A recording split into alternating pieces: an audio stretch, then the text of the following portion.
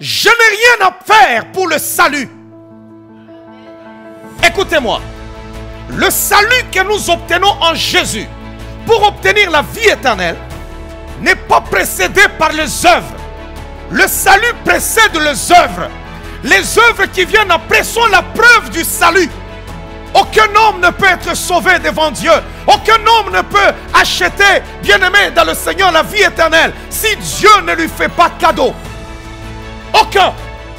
De Genèse à l'Apocalypse, si un seul homme seulement était capable, était capable d'être parfait devant Dieu, Jésus n'allait pas venir.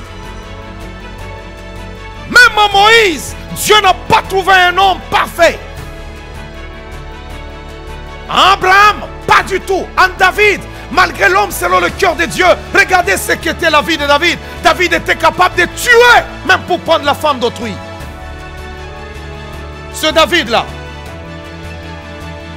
C'est pourquoi dans l'Apocalypse, Jean est en train de dire, j'ai pleuré lorsque personne n'était capable de prendre le livre et de rompre les sept sceaux, ni dans le ciel, ni sur la terre. Il n'y avait personne. Mais on me dit, ne pleure pas. Voici, voici, voici le lion de la tribu de Judas. L'agneau immolé a vaincu, il a vaincu.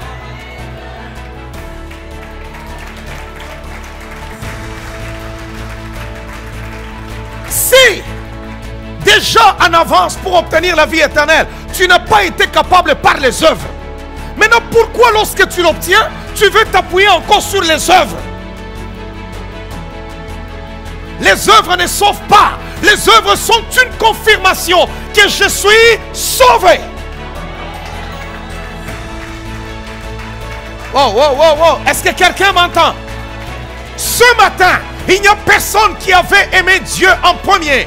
Non, la Bible déclare, nous l'aimons parce que lui nous avait aimé le premier.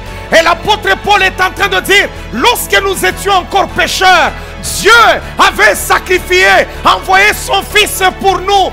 Il nous a aimés pendant qu'on était drogués, pendant qu'on était pécheurs, pendant qu'on était menteurs, pendant qu'on était voleurs. Il nous a aimés, il nous a cherchés. Écoutez-moi très bien. Pendant que tu étais dans les fétiches, pendant que tu étais franc-maçon, il n'a pas demandé tes œuvres. Il n'est pas venu te caresser.